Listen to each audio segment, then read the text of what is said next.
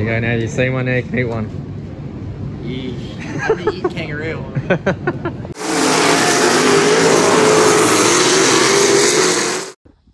Alright, gonna start the Archerfield video off this way. We're not even at Archerfield, we're at Eastern Creek, so just coming off three rainouts here. And yeah, the track doesn't look too bad. It's a little soft in some spots, but it seems very workable. But um, like, I have the equipment to do it. I'm not 100% sure on the decision. It might have been a financial decision, which is fair enough. Um, it's a lot of money to put on a Sunday night and to try to recoup the cost. But um, anyway, we'll get up the road. I was really looking forward to getting around here in a wing car, but um, we'll get up the road to uh, Archerfield. I've had good success there um, in modifieds and look, it looks on a pretty right rear down sort of track. So I think it'd feel pretty similar in the sprint car too. Just stuff's happening a bit faster. So I thank DK enough for dragging me up the road with my chase and all that. So we're getting solid, just need laps. Um, New Year's Day obviously was a bit of a bummer with not getting many laps to the end, but I've put my power steering gears in it now, uh, gear in it now, so it should be hopefully good. Um, never been so lost in my life with power steering problems. yeah, just really bizarre things I've never experienced, which that's why we race is when we learn. Um, yeah, let's get up and down the highway, say bye to Eastern Creek this season. Uh, yeah,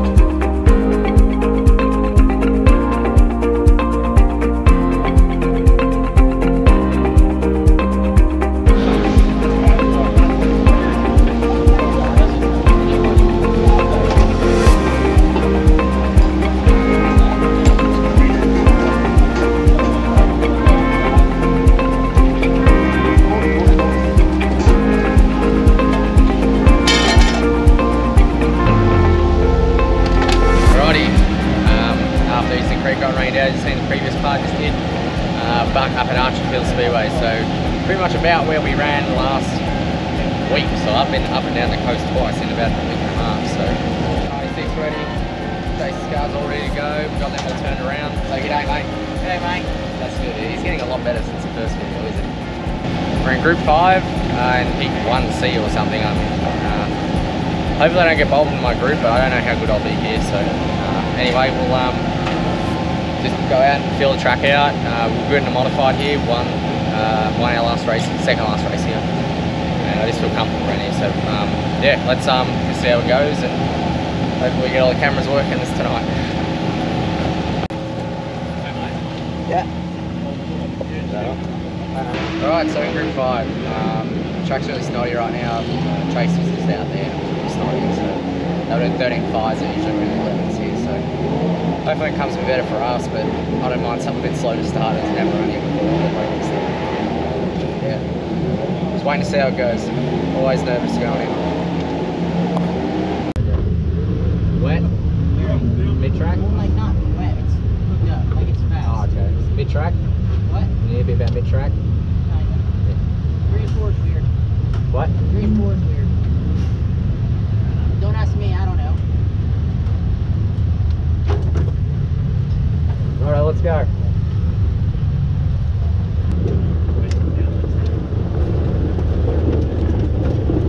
The wheel's not straight. That's the wheel's not straight.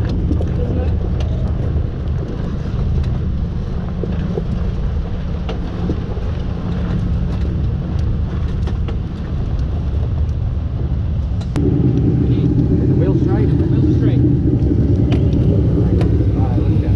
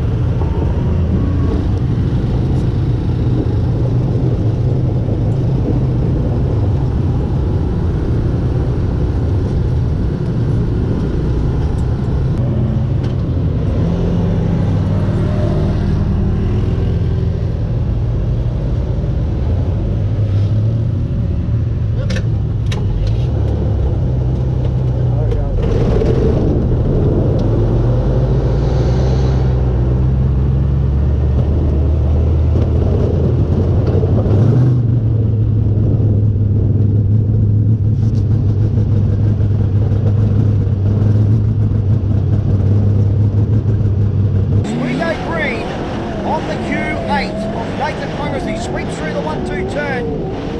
Down underneath the Capella Bar Wreckers sign. Into the three-four. Gets the car a little upset on the entry. Hobson on the top with a 12.591. Jack Bell goes to the top with a 12.587, but it's Talia Rapout. 12.495. She'll lead the first lap. 12.495 over Jack Bell, Todd Hobson and Nathan Pronger. Jack Bell now back on the top with 12.479.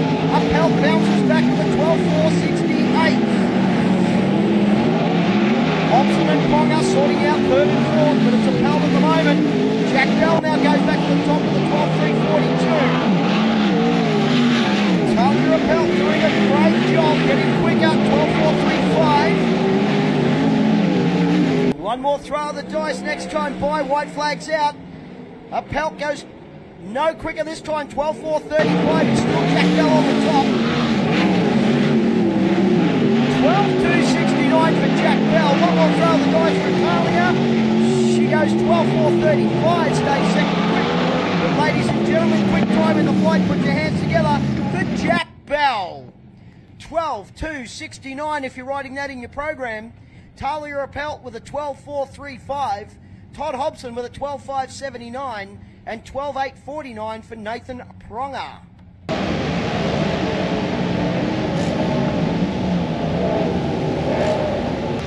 Alrighty, so we just got a crap field. We got a crap group.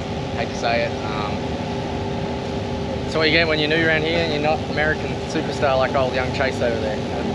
I didn't get one clean lap in. I couldn't get a rhythm. I couldn't do anything. But that's how the cookie crumbles. We're just going to do with the cards we dealt and have a crack, good crack in the heat race. We've got a great race car.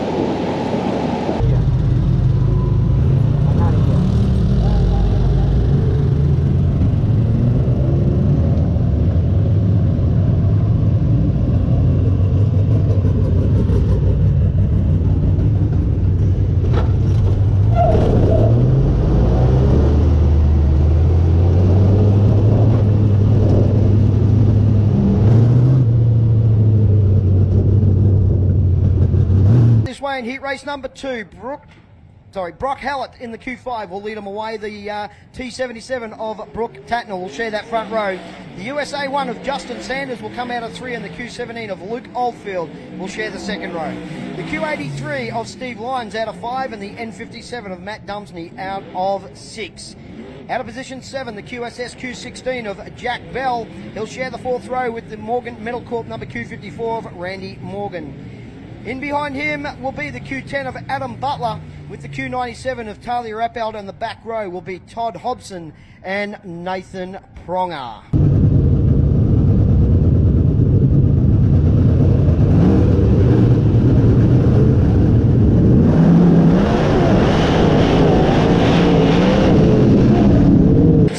The five-time national champion, oh, Tatnell gets the kiss on the outside to squeeze the pedal one more time. It's Oldfield on the outside of Hallett as they dive down into the one-two turn. They're-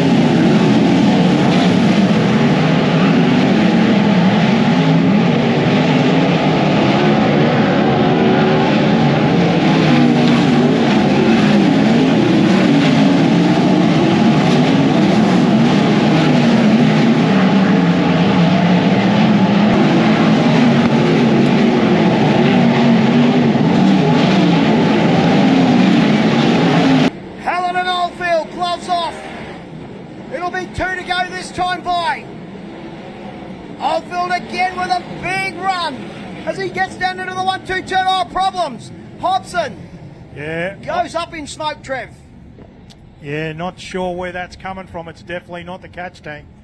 I don't know whether that's uh, kicked the leg out of bed or spat the filter, but certainly uh, not a good sign for the uh, number 96 of Brady Hobson out of Victoria. Trot. Just watching the replay there for Speedway Australia TV and uh, Puffing Billy going on by the flag stand there as he heads down into one and two. So yeah. the Cool Freighters number 96 machine will call it a day in heat race number two, Trev.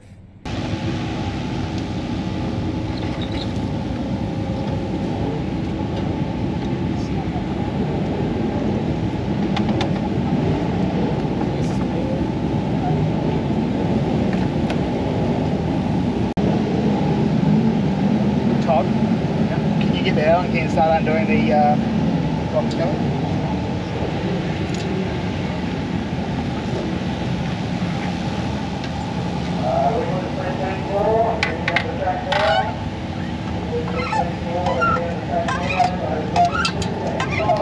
You go down and see, check out the grids?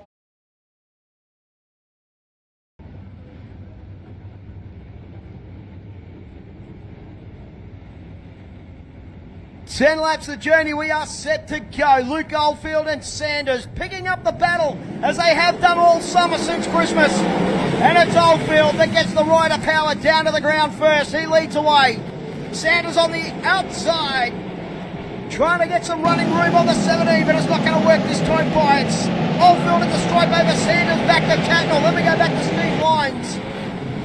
Brock Hallett's the next one in the queue. Then we go back to Matt Dumsley, Adam Butler, Jack Bell, Todd Hobson, Talia Rappelt, Randy Morgan, and Nathan Pronger. That's the runners. Great battle between Tatnell and Sanders. Tatnell, beautiful move on the inside of one and two.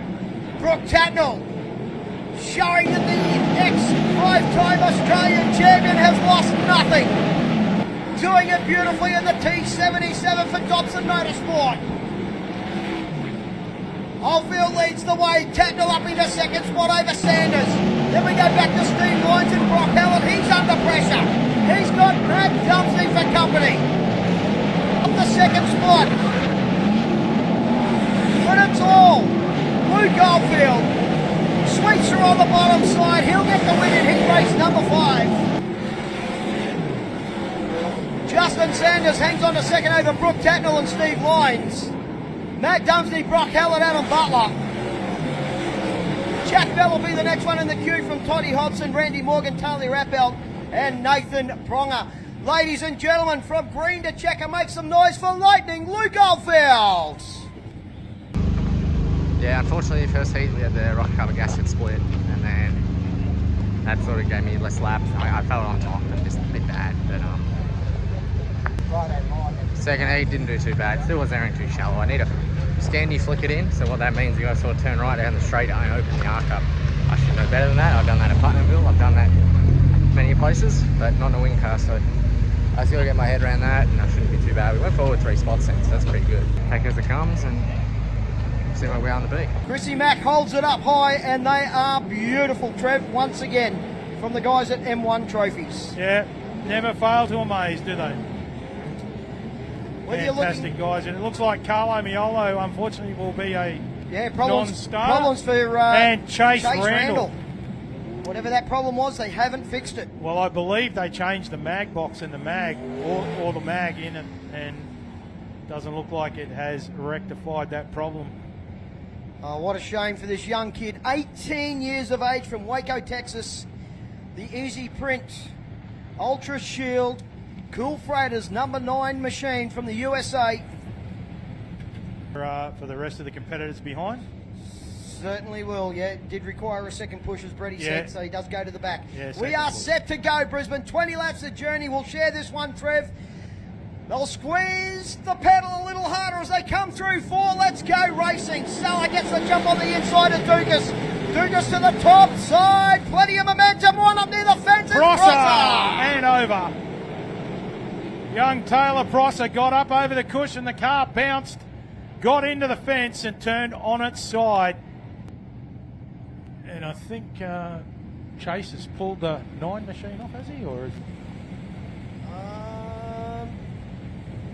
must have. He's not out there. yeah, I can't actually see it. No. So we are set to go. 20 laps of journey. Take number two. Let's hope everybody gets through this time nice and clean as they fight for real estate and the elbows go up one more time. Salah gets a much better jump this time. Dukas and Kratzman arguing over second and third, down through one and two.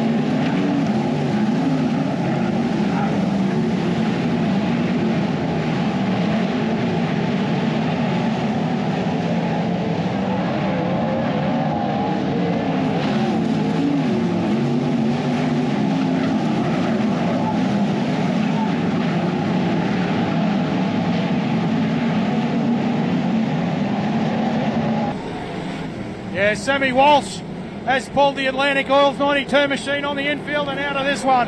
Obviously problems for him, so let's hope that uh, they can get them rectified for the weekend. But Michael Seller continues to lead. The 56 machine out of New South Wales doing the job at the moment. Dugas a little sideways out of four. Gets it back under control. Kratzman sitting in third. Young Jack Bell is the man on the pressure spot. He is the man on the bump. Morgan on the outside trying to find a way in. He needs to get the 16 Queensland Speedway Spares Driven Oils machine back into fifth. Then we go back to Cody O'Connell, Adam Butler. There's Toddy Hobson, followed by Jackson Delamont, Trent Barty, Carl Hoffman. Then we go back to Tali.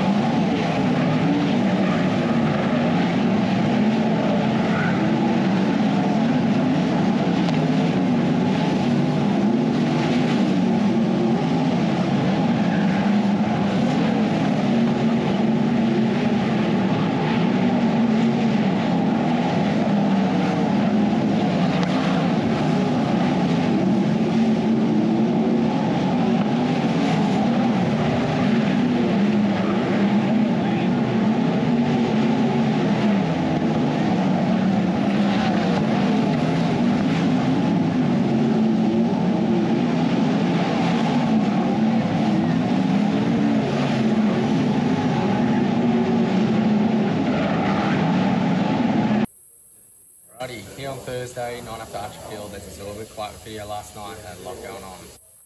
Filling all the gaps of Brett Hobson. Apparently, there's another Hobson, same name as me. We have the same number, same colour car, so you can tell that people can get a bit confused. At um, Select Water Tanks, uh, you can see behind us, we're making very high quality stainless tanks, taking us in for the week, so I really appreciate them. Um, as we're doing our motor maintenance at the moment, uh, really finished up with all that. Uh, this is injector out of the sprint car. Uh, this thing runs 16, so just different setups, uh, doing different stuff with torque curves and all that sort of stuff with fueling. Um, but pretty much what I'm doing at the moment is just clean them up. Uh, so essentially, um, we use, I've been using contact clean, which is probably a little bit harsh, but it's all I have here at the moment. CRC with penetrating oil, Lucas penetrating oil. Um, or any degrees that you can use to get them all cleaned up. Most ideal option is uh, an ultrasonic bath, but I have access to that on the road, so it's the next best thing. So pretty much just spray some in, spray some in the hole, spray some in the end, pick up air, make sure we don't get any eye, and check if we can see through it. Um, see daylight, so we can with that one, so that's nice and clean. Struggling a little keeping them clean at the moment, but we've got a that all fixed up in the fuel system. Um, yeah, next one for us. So in our B main last night, really hustle. I thought there might be something, but I don't think there is. I think it was all a bit in my head with these blocks mufflers here. We have to run here and bit of tyre shake probably as well. After what happened in the heat race with the this rocker cover gasket here split, um, I was a little little timid, but uh, that's lucky we've got two more nights to show we can do. We have great speed in the B, probably on route to transfer. But yeah, double check everything, make sure it's all good, and see Friday.